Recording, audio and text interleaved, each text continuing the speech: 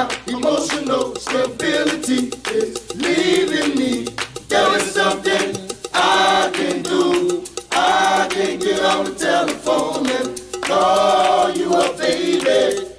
Honey, I know you'll be there to relieve me. The love you give to me will free me. If you don't know the things you're dealing and it's sexual healing. Get up, get up, get up.